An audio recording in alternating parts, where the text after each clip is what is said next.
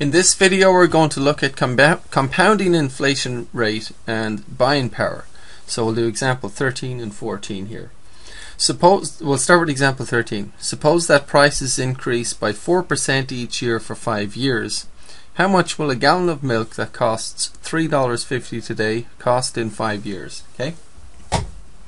So um, there's of course a couple of ways of looking at this we could calculate the increase every single year if you want and um, why not why not just quickly do that uh, just so we can maybe jog our memory on what a, the, on, on the on a compound interest formula that you've seen earlier. But if you um, look at you know year one um, after one year okay the cost will be what? I mean, at year zero, initially the cost is 350. That's today. But in one year's time, the cost will be what?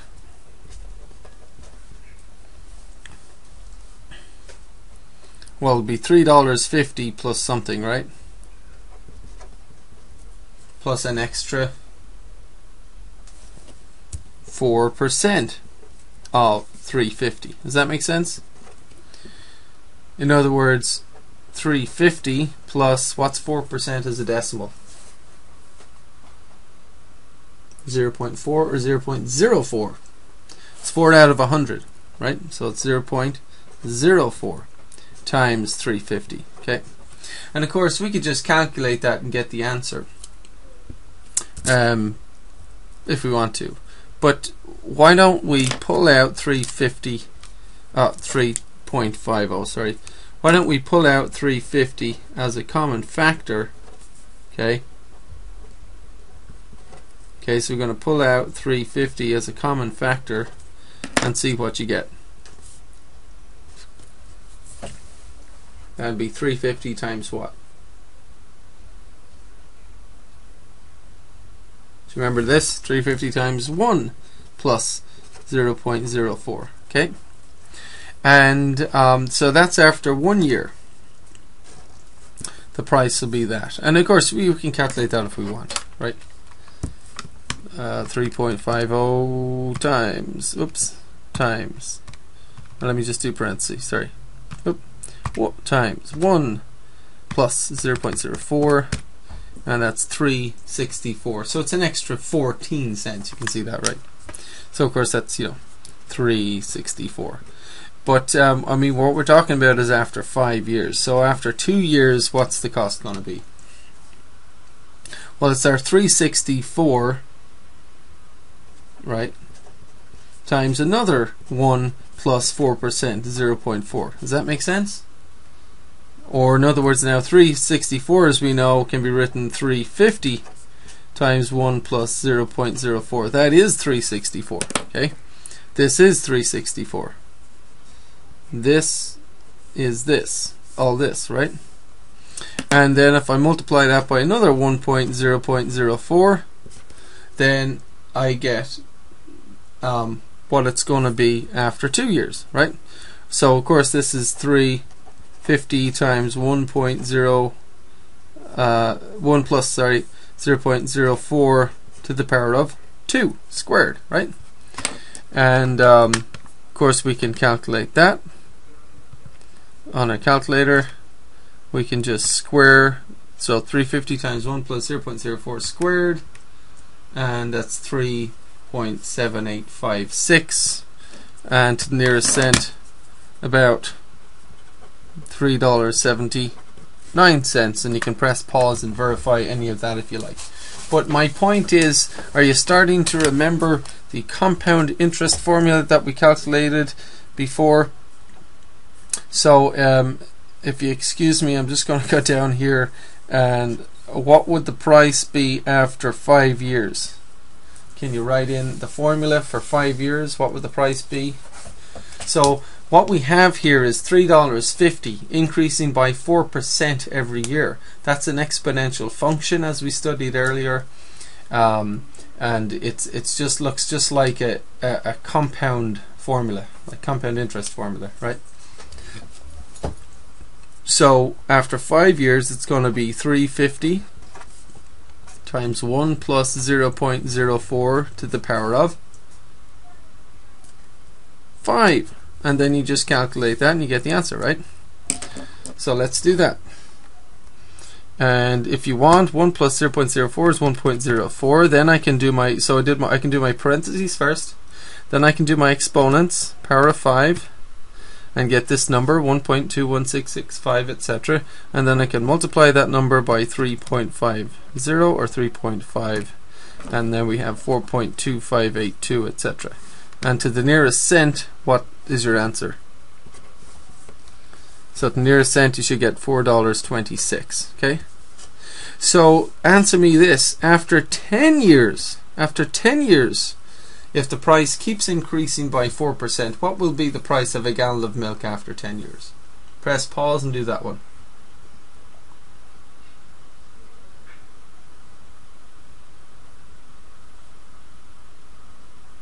Did you get it?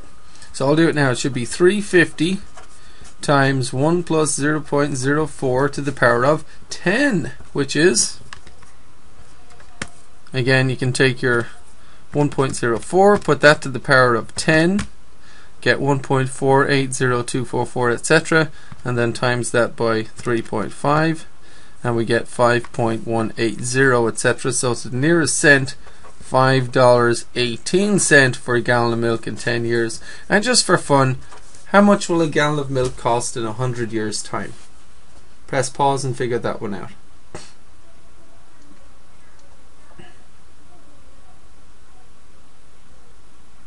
Okay, I hope you've tried it. The gallon of milk will be take your 350, multiply it by 1 plus 0.04 to the power of 100.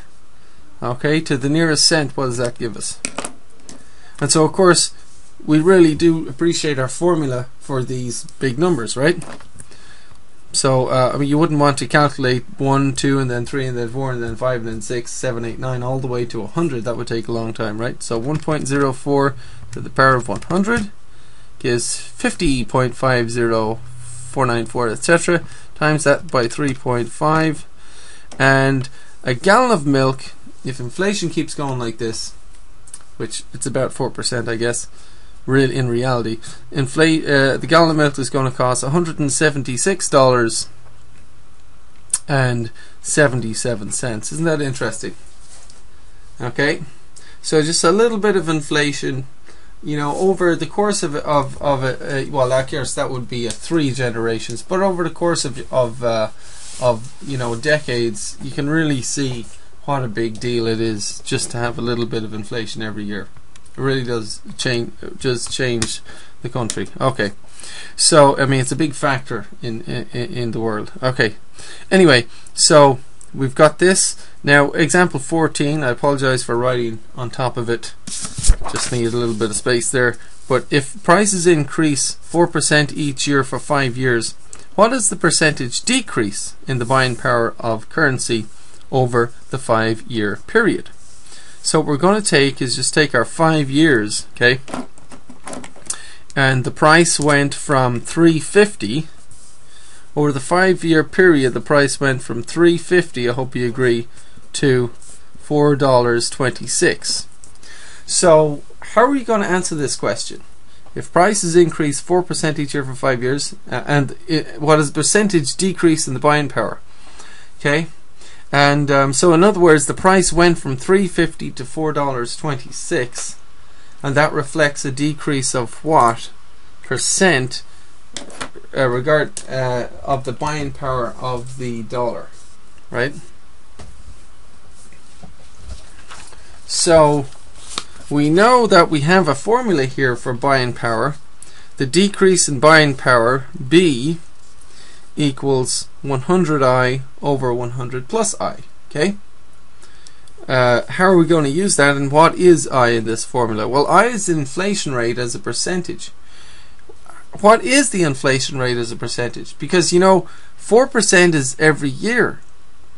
But don't we need the percentage rate over the five year period, right? And we do indeed. What we need to calculate first is the five year percentage rate. So we need the five year, sorry, inflation rate.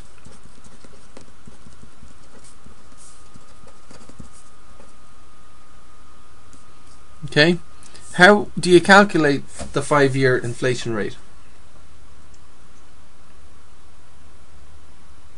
Well, you got to take your increase in the price and put that over the initial price.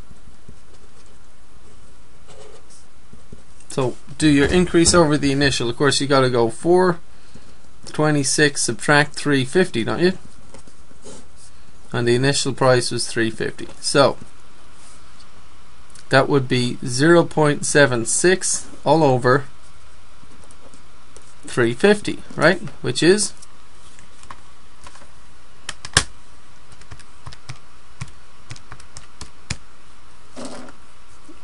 uh, 0.2171, etc. And we'll write this as a um, percentage to uh, one decimal place. Okay, so it's equal to that, which is approximately 21.7%. So our five-year inflation rate I, right, over the five-year period was about 21.7%. In other words, the price increased by 21.7%. So what does that say about the buying power? How did the buying power of the dollar decrease over the five-year period?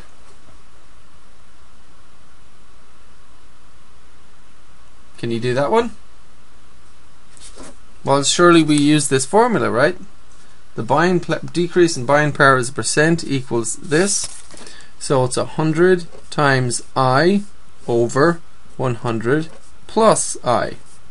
And I should be given as a percent. So we deal with, we put in the, the whole number, you know, the number, percent number into this, onto, into these formulas. So we're going to put in 21.7 on the top and bottom, right? So 100 times 21.7 is 2170 and on the bottom 121.7 right so plug that into a calculator what do you get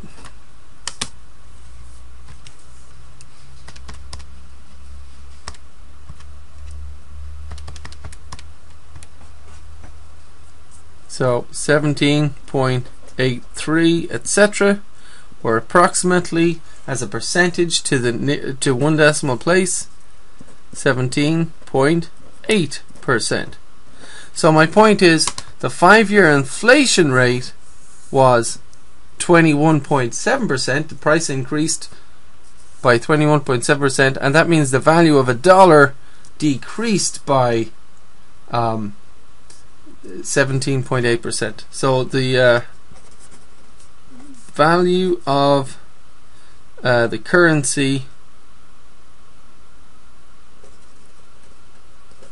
or the dollar decreased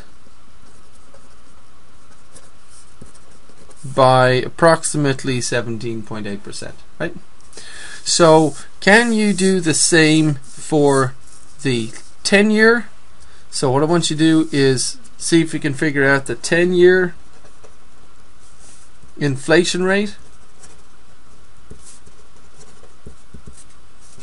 Oops, sorry about this. So 10 year inflation rate and remember the price over 10 years and we just calculated it has gone from $3.50 to $5.18. You need to calculate the 10 year inflation rate and then the decrease in the buying power of the dollar over the 10 year period. And this, of course, is if the prices increase 4% each year. So press pause and do that same way.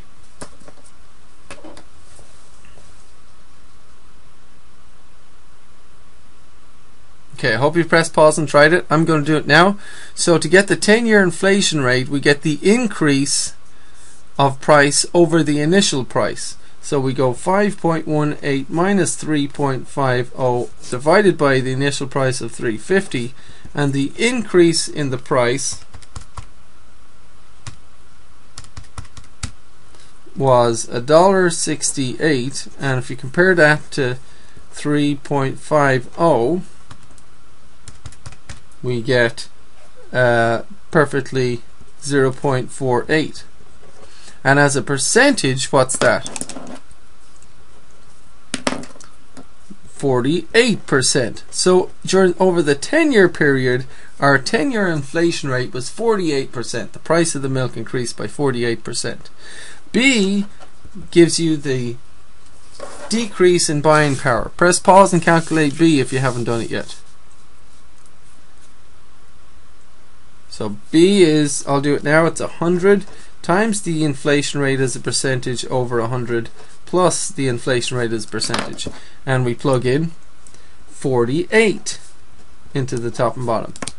So that gives us 4800 all over 148. And type that in the calculator and see what you get. So you might indeed get 32.432 etc. Round that to one decimal place.